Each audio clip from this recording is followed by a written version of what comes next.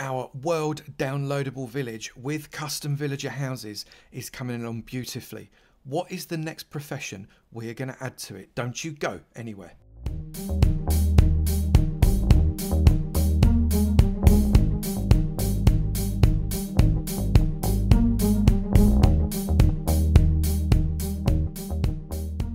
Good morning, good afternoon, good evening, and good night, and welcome to another episode from me, Avomance, in my Village World series.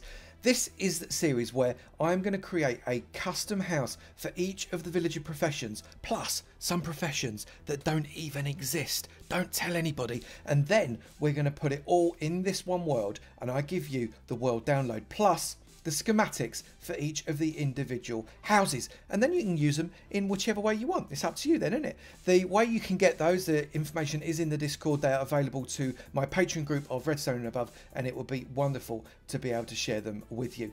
Let's crack on with the fifth house. We've already done the farmer and the stonemason and the butcher and the cleric. The next one is the bookworm the librarian now, I think the palette that we're going to use for this is going to be relatively woody. So we've got oak and we've got spruce in there. I've got a single dark oak step that I'm going to see whether or not I can work that in. We've got a few workstations and of course we've got the lectern.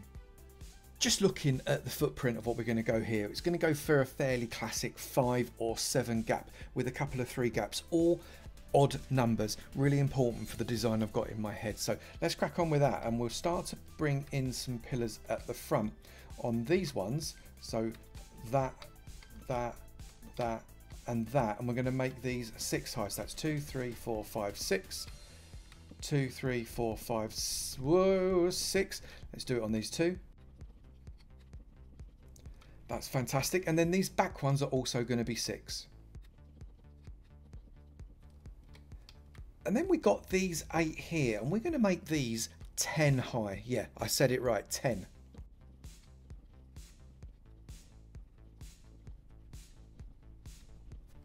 Ten high all on those, and then we're going to put in cross beams, and we're going to do it across there, and also come in across here between all of them. So let's crack on with that.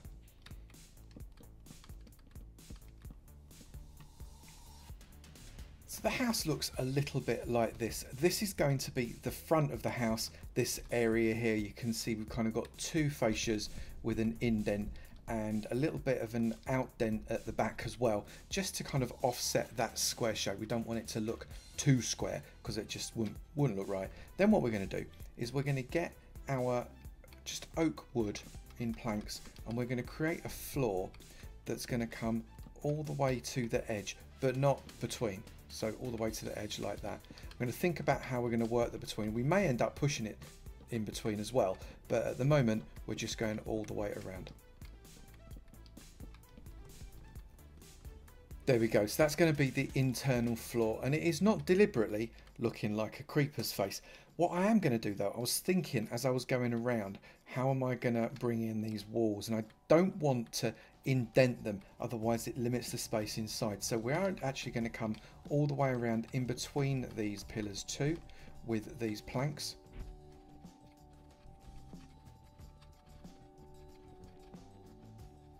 That is much better actually. And now what we're going to do is we're going to bring in some stone bricks in this indent. This is going to be where the entrance is. So I'm just going to bring stone bricks all the way in with this five wide area. And then we're going to come out one and then I think what we'll do is we'll come across there as well. And then what we'll also do is pop them like that to give a bit of a fairly grand looking step inside. That is a pretty decent start. The next thing we're going to do is sort out the walls and the roof. Now the idea being the walls we're going to do in this style and we're going to use intermittent stripped oak just to make it look a little bit more textured. We'll possibly do a little bit that in the floor later as well. I've not decided on that quite yet. And then on the roof, what we're going to get is we're going to use stone brick stairs as the face like that area. And then in between those, we're going to use spruce stairs as the actual roof itself. And then we'll have a slightly different shape on the roof of the top. Let's crack on with that.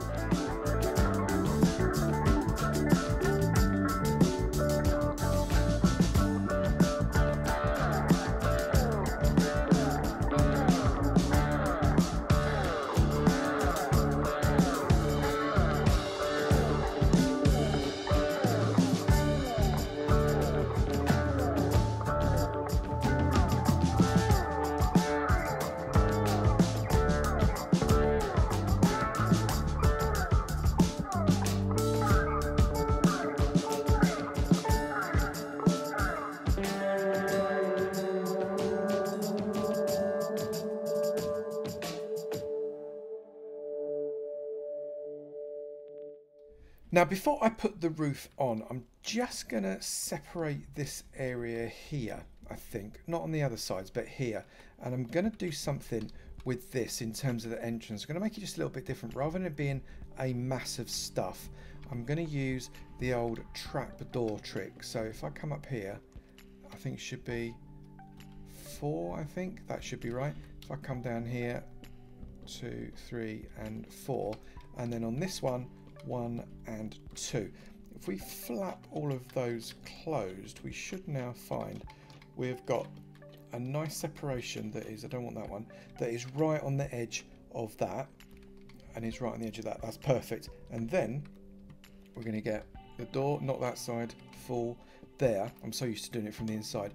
And that gives us quite a nice, not necessarily gothic looking, but a decent looking front that's got a different texture and doesn't take up too much space but also isn't just a load of blocks. I like that a very much. I'm also going to bring in another area here I think because I want to put a bit of a dormer on here so if I grab those like that and create just a standard 12-12 on this one like this, that should hopefully give us the ability to put a dormer on the front of that and break up that long line of roof. Otherwise, it's going to be quite ugly in its size and uh, there'll be just too much straight lineage. Let's pop that there. Get that on there. Maybe make it straight. That would be a novel. And then that like that. Okay, so we've got some decent roofs. That's quite a lot of repetition there, but I think we'll be okay. And then around the back here, what I want to do is I want to create the ability to pop in a fireplace. So we're going to get the fireplace is going to be that size. That is then going to knock out this window because this window will no longer be able to be functional. I get that like that. If we just build this up to the height of the house, what that'll allow me to do is just plan the roof around it. And that'll be coming out there like that. Okay I think that's probably let's just go one more just from a planning perspective. I'm not going to leave it a column of cobble like that. We'll do something more. Let's get the roof on and then we can see where we go from there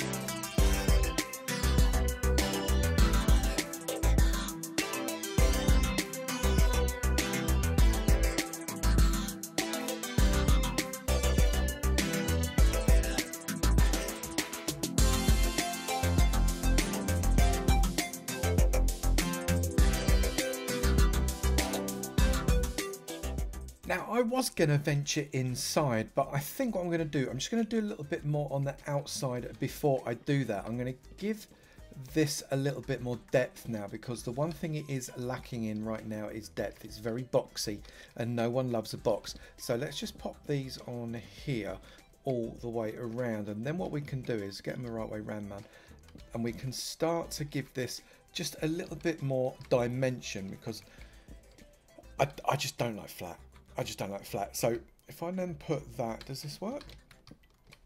I think that could work okay actually. So let's pop those there like that. That over there. That like that. That coming all the way around. And we'll do this on all of these posts just to give ourselves, I mean, it's an extra two lots of depth what is what this has achieved as a result of these pillars and steps and I think that works rather well. That's nice. Now obviously what we need to do is we need to get some uh, window dressing. We need to do something with this side. I've got a thought. I've got in fact I've got a very very good thought in that I am fairly confident what it is I'm going to do. Um, but other than that yeah let's get this detailing going because we need to get inside. Inside is where it's at with a library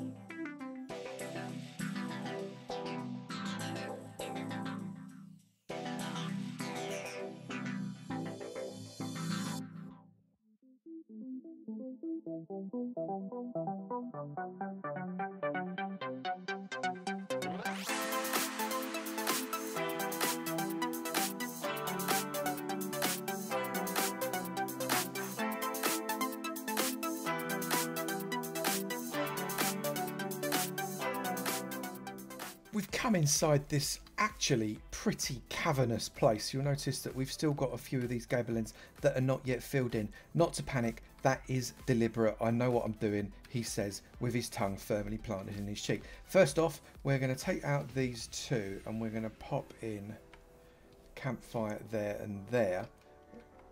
Put some upside down steps and we have got a, a, just a nice looking fire there. What we could do actually we could put a little grate on that and that keeps that protected.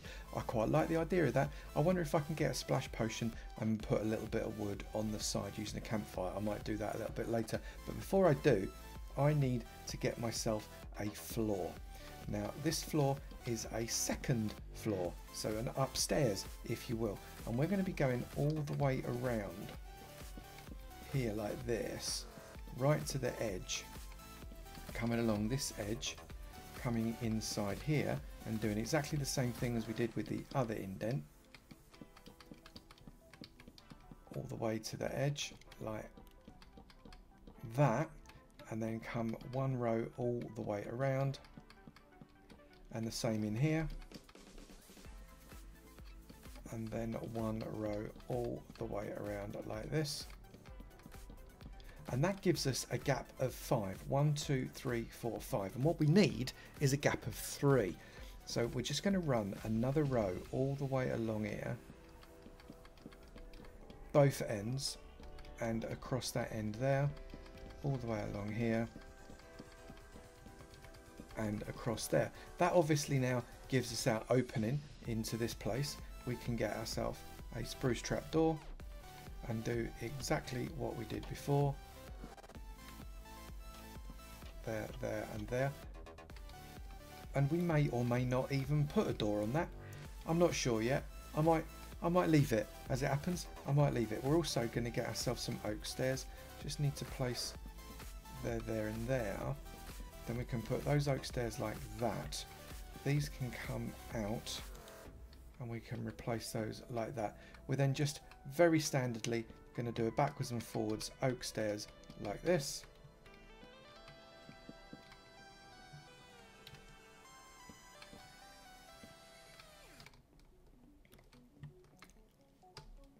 One decent set of steps there and then we can start to bring in some library access. And what I want to do is I want to put bookshelves all the way along here and there and there and there. So it's like we've got bookshelving there. I'm not sure I like that actually. Let's make it like that so as it looks like a proper little alcove going in there. We're going to do the same on this side, exactly the same. This is a little bit wider so it will probably work actually a little bit better. Come in like that and then all the way along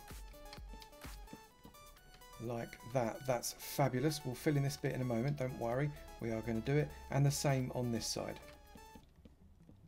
Brilliant. And what I also want to do is increase this part here. Just that far out to there. Because then we can do something with these big old bare walls. And what we're going to do is, unsurprisingly, we're going to put in some library books all the way up to the top and we're actually going to cover up right the way up to there right up to the window. So that is a decent sized library and we can then get some iron fencing at the end there just to act as a bit of a protector because the fella's probably going oh doopy doo and just wandering around and ends up bashing himself over the edge of the stairs and that just won't do at all. Now what we're going to do is we need to put a basically an arch across here. We don't want to close it off so we're going to use an arch and actually I'm going to do it like that two and three and then we'll come across with that as well. So we've got a really nice looking arch there. Do the same on this side. And finally over here, the same again. And that gives us a really nice little area. What I might do, you know, I might actually put some extra books there up to the ceiling because I think that would actually create quite a nice effect. Yeah, I like that very much too. That's quite good. And then we can also get ourselves some shelves coming across there and on top of the shelves you guessed it even more library books this guy is a bookworm remember he loves his books so we can put shelves in fact let's put shelves all the way along there bring the books right across to there. And similarly we can bring all the books right across to there as well. And it also acts as a bit of a cover up for those um, beams etc that we don't necessarily want to be able to see. Let's bring those across. In fact not that level. We want to bring it across on this level and put books all the way along but not in the top. And I think we can keep that open space just a little bit more. I think that we've developed that quite well all I need to do now is to make it look like a home and I think we are pretty much sorted out. We've got all the bushing in, we've got the necessary details, we've got a little sitting area there, both on the lower and upper floors. And inside, we've made a really nice living space, I think. Let's pop this in here. We've got a little fireplace with a working area. He's got a book and something to eat. A little kind of sort of a working area again, I guess. Around here, you've got a little kitchen. I need to avoid the cauldron, obviously, with any villagers that are coming in here. We've got a bookshelf because we've not got enough books. And upstairs, we've got an extensive library. Let's get it into our world. Our librarian's house is now firmly within the village, tucked behind there. You can see tucked behind this one, the cleric's house that we did last time. Now the schematic for that house, as well as the schematics for all of the other houses, are in a chat room with a link in the Discord for the Avaverse. The link is in the description below, as well as the world download for this world as it stands right now. Go and get it. It is very, very easy. And there you have one more house, the librarian's house. I'm really pleased with this one. It's nice and detailed. Looks a bit like a, a public library that's been converted into a house. So I'm really, really pleased. There are currently three librarians sat working inside that house. A couple of clerics in there. All of these houses have already got villagers and we will populate them as we go. If you have enjoyed this video, please do remember to slap that like button. It'd be great to know you're enjoying it, and I will keep on making it. Also, if you've not done it already, please do hit that subscribe button. It'd be great to see you in my sub club, and I look forward to seeing you in another video. You take it easy now. Bye.